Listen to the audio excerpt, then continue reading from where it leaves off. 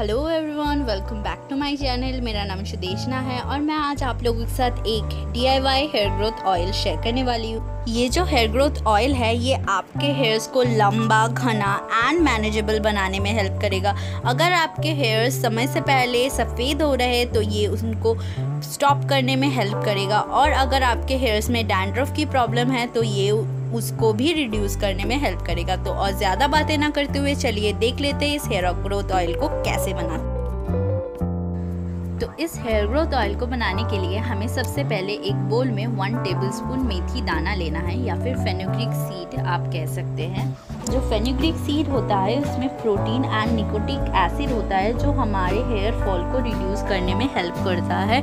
इसमें vitamin A के and सी होता है, जो हमारे रूट्स को स्ट्रॉन्ग बनाने में हेल्प करता है और हमारे हेयर ग्रोथ को प्रमोट करने में भी हेल्प करता है। उसके बाद हमें इसमें three tablespoon coconut oil add करना है। जो कोकोनट ऑयल है, वो मैंने सालीमार का यूज़ किया है। आप कोई भी ब्रांड का कोकोनट ऑयल यूज़ कर सकते हैं। उसके बाद मैं इसमें three tablespoon mustard oil add कर रही हूँ।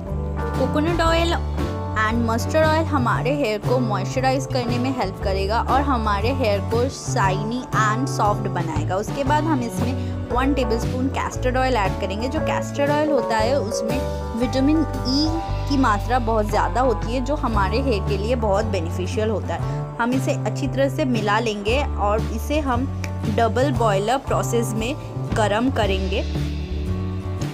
आप इसे अच्छे तरह से ऐसे डबल बॉयलर प्रोसेस में 15 टू 20 मिनट्स तक गर्म करने के बाद इसे ठंडा होने के लिए छोड़ देना। उसके बाद एक एयर टाइट कंटेनर में स्टोर कर लेना। सो so, इस हेयर ऑयल को लगाने से पहले हम अपने हेयर्स को अच्छी तरह से डिटेंगल कर लेंगे। उसके बाद हम इस हेयर ऑयल को एक बोल में हमें जितना चाहिए होगा उतना निकाल लेंगे और इसे थोड़ा सा गर्म कर लेंगे। हमें इस हेयर ऑयल को अपने पूरे स्कैल्प में एंड अपने पूरे हेयर लेंथ में अच्छी तरह से अप्लाई करना है। आप इसे अप्लाई करने के बाद अपने स्कैल्प को 5 टू 10 मिनट्स तक मसाज करिए। स्कैल्प को मसाज करने से स्कैल्प में ब्लड सर्कुलेशन इम्प्रूव होता है, जो हमारे हेयर ग्रोथ को प्रमोट करने में हेल्प करता है। आप इस हेयर ऑयल को लगाने के बाद ओवरनाइट छोड़ दीजिए। अगर आप ओवरनाइट नहीं छोड़ना चाहते तो आप इसे मिनिमम टू आवर्स तक छोड़ दीजिए। उसके बाद आप अपने हेयर्स को शैम्पू कर लीजिए और इस हेयर ऑयल को आप वीक में टू टू थ्री टाइम्स आराम से यूज़ कर सकते हैं। और इस हेयर ऑयल को बनाने के बाद आप इस हेयर ऑयल को रूम टेम्परेचर में फाइव टू सिक्स मंथ्स तक आराम से स्टोर करके रख सकते हैं।